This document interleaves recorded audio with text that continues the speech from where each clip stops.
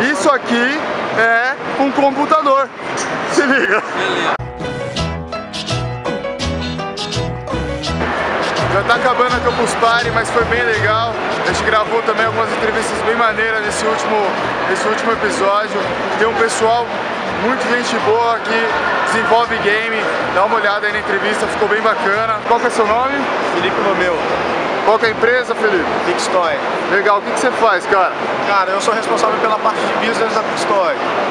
Como que funciona a empresa de vocês, cara? Então, somos em três sócios e a gente já está com oito colaboradores diretos, galera trabalhando firme e forte, e tem mais cinco indiretos que trabalham aí meio período. Uma produtora de game mesmo, então. Isso, game. Só especializada em game. Em games. A gente tem uma parte que faz aplicativo, mas ela é a parte da empresa que dá uma, dá uma sustentação, né? Porque ganhar dinheiro com games no Brasil ainda não é fácil. Ainda não é fácil, né?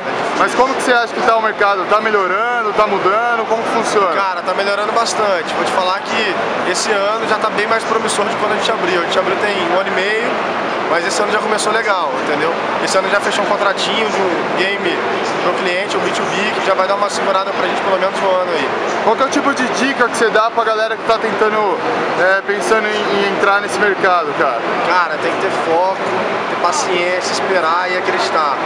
A, a maior parte das empresas de games no Brasil, os próprios desenvolvedores, eles desi- desistem na metade do caminho. É difícil, cara. Você trabalha aí seis meses pra fazer um game, não ganha nada. Aí o cara já pensa, porra, não vou trabalhar mais seis meses pra, pra fazer outro, pra não ganhar nada. E aí o cara acaba desistindo, vai pra uma área mais fácil, vai fazer aplicativo. A esperança é a última que morre mesmo. É, cara, a gente continua, continua trabalhando firme e forte, acreditando aí em fazer um, fazer um game que vai dar um bom dinheiro. Bem legal. O que você tá achando dessa Campus de 2014? Pô, é a cara, primeira de vocês? Como que é? É, a primeira nossa, a galera, pô, tá curtindo pra caramba, a gente fez altos contatos, entendeu? Fizemos contato não só com consumidores, mas também com parceiros, pessoal de mídia também. A galera de mídia sempre ajuda bastante, sempre conseguiu mídia espontânea. Então, aqui isso eu acho que acredito que vai aumentar ainda mais. Legal, cara. Muito obrigado aí, meu. Parabéns. Quer deixar o site aí pra galera acessar? Beleza? Acessa lá, pixtoy.com, tem nosso Facebook também, facebook.com, pixtoy social. Beleza, cara. Beleza? Obrigadão. Obrigado aí. Boa sorte pra vocês. E, meu, põe o fé, hein, cara. Game no Brasil tem que levantar mesmo. Levanta a bandeira que é nós, velho. Isso aí, valeu, valeu. É isso aí, um abraço. Tem um pessoal sensacional também, que saiu até na Rede Globo. O cara falou pra mim que foi muito bom a, a feira pra eles, que desenvolveram um robô muito maneiro. Se liga aí como que funciona. Beleza, qual que é seu nome? Antônio, nós somos da Project Robotics. Antônio Project Robotics. Legal, o que, que você faz, Antônio? É, nós, somos, nós somos criadores de robô, é, nós somos desenvolvedores do R1T1, é o primeiro robô de telepresença brasileiro. Telepresença, como que funciona isso, cara? Telepresença é uma tecnologia que serve para te dar a sensação de estar fisicamente em um lugar remoto. Tem mais ou menos alguma, alguma característica assim a mais que você, do, do robô? Como que é? Que tipo de mercado que é? Como que funciona? No caso, o R1T1 ele é focado para a área da saúde, educação e grandes corporações. Então, dentro de um hospital, por exemplo, ele está sendo utilizado, ele pode estar fazendo é, interação com o paciente, consulta, interagindo com o ambulatório, pediatria, é, monitoramento da UTI. A parte que eu, uma parte que eu mais gostei é a par- participar de cirurgias com o médico de cirurgião conectado nele para dar a segunda opinião. Caramba. Tudo isso em tempo real. Inteligentíssimo, então. Ele tem também os sensores de presença e locomoção é, que fazem com que o robô enxergue em 3D. Então ele não colite, ele pode desviar dos obstáculos automaticamente e está em um local como esse aqui na Ghost Party, que tem vários espectadores andando lá e pra cá e ele está no meio da galera sem problema nenhum.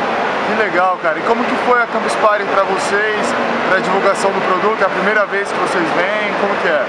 Essa é a nossa primeira Campus Party, a Campus Party for Show, totalmente sucesso. Nós aparecemos no Jornal Nacional, na Globo. que legal, cara. Logo antes da novela, pra nós, em matéria de divulgação, não teria como sido melhor. Que bom, cara. Parabéns pelo projeto. A gente está divulgando também é, a, a característica aí de vocês.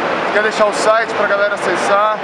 O nosso site é www.projectrobot.net. É Tá. projeto robô, só que em inglês. Eu vou deixar na descrição, a galera já acessa já. Muito obrigado, parabéns. E meu, primeira Campus Party de muitas agora, né? Com certeza. Valeu, cara. Obrigado. Bora, bora lá. vai, vou te atrapalhar, robô. Tô atrapalhando ele, tá ligado? que legal, cara. E o nome dele? Como que surgiu o nome dele? O nome dele ele é inspirado no R2D2, é R1T1 nosso. Que legal, cara. Parabéns mesmo, mano. Muito bom, cara. Pô, conheci uns caras muito maneiros também, que eles têm o Jogando Offline. Se liga aí, os caras são sensacional. Jogos de tabuleiro, quem curte aí vai pirar na entrevista. Valeu? Beleza, qual que é seu nome, Beleza, brother? Eu sou o Serjão do Jogando Offline. Legal, cara. O que, que você faz, brother? É, nosso canal é especializado em jogos de tabuleiro, a gente faz resenhas, faz vídeos engraçados sobre a temática do jogo, enfim, várias coisas sobre esse mundo tão bacana offline. Você tem, tipo, ó, ó, alguns jogos, assim, pra comentar, por exemplo, pro pessoal já ficar interessado em entrar? Como, como que é? Cara, jogos imperdíveis é, que já tem no Brasil, vou falar, porque os de fora é mais difícil. Zombicide, pode pegar, que é fudido. Apocalipse Zumbi, meu, pegada videogame, enxurrada de zumbi, animal, vê umas 80 miniaturas na caixa básica. Ó, que massa, Vale a cara. pena pra caralho. Tá saindo Game of Thrones, quem curte a série, quem curte os livros, vai pirar nesse jogo. Melhor temática de Game of Thrones em um jogo de tabuleiro que eu já vi na minha vida.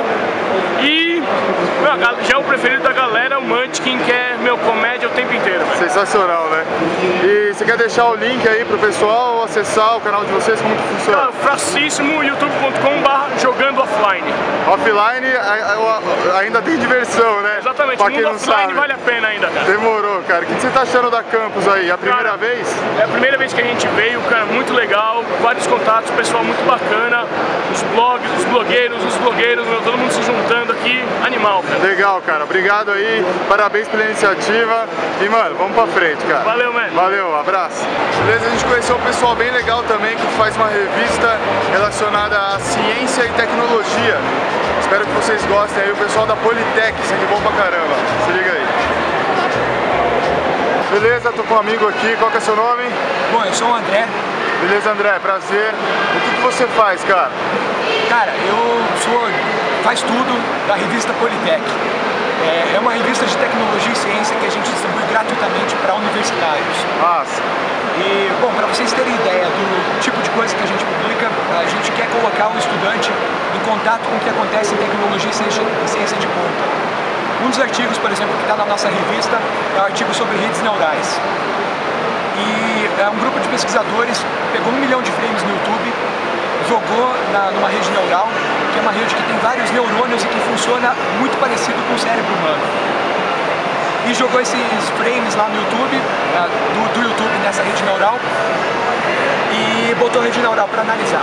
Ah, o computador conseguiu aprender sozinho, identificar várias categorias de objetos. O mais identificado, a categoria mais, que mais aparece são rostos humanos. Depois vem ah, corpos humanos e gatos. Então isso quer dizer que o YouTube está cheio de gato. Tá. E o mais foda disso é ver que a gente chegou a um ponto de entender sobre como o corpo humano funciona, como o nosso processo cogni- cognitivo funciona, que a gente consegue programar o computador para pensar como a gente e aprender da mesma forma que a gente aprende. Uma criança aprendendo. Exatamente, uma criança vendo gato, de tanto ela ver gato, ela aprende que aquilo é um Que gato. aquilo é um gato. Sensacional. E esse é, um- é- é- é um exemplo do que tá rolando na revista. Exatamente, e é um exemplo do que a gente não vê nas universidades aqui no Brasil.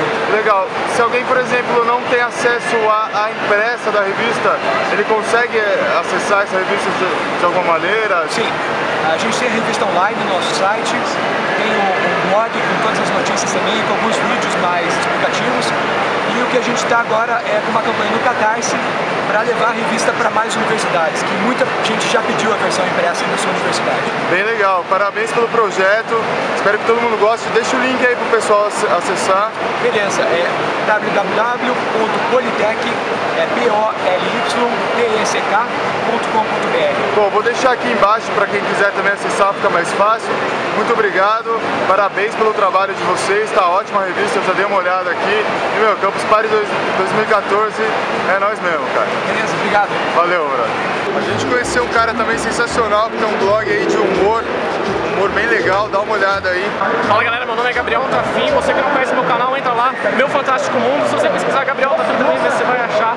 É um canal totalmente inocente, a gente faz umas sátiras totalmente bizarras. Conhece lá que você vai, você vai gostar. Massa, velho, valeu. São mais ou menos uma hora da tarde, ainda tá rolando, tá acesso, ao, o público tá aberto, o pessoal tá vindo bastante visitar. Muita coisa legal, não vai dar pra filmar tudo, vai ter que esperar o ano que vem voltar a cobertura, que vai ser impossível. Mas espero que vocês tenham gostado aí de, de todos os momentos que a gente passou aqui dentro. É bem cansativo, se prepare fisicamente, psicologicamente, mas vale cada minuto. Valeu aí a força de quem ajudou a divulgar. É isso aí, muito obrigado a todo mundo. Se inscreve no canal, comenta aí críticas, sugestões, o que, que a gente pode estar fazendo daqui pra frente. Vou tentar gravar uns games, fazer várias paradas relacionadas aí ao mundo nerd, ao mundo da tecnologia. Muito obrigado a todo mundo que acompanhou. Ajude a compartilhar. Se gostou, dá um joinha. Se não gostou, também pode dar um negativo. Tamo todo mundo junto. Campus Party 2014 foi isso. Muito obrigado. E agora fica aí com a galera que tá participando, gritando aí a bandeira Union Nerd. Valeu, satisfação pra todo mundo, velho. Forte abraço.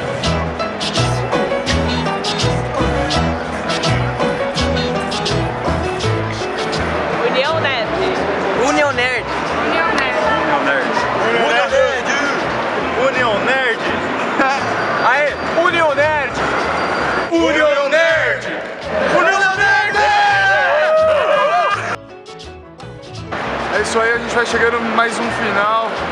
Tá acabando já Campus Party, mas a gente gravou uma...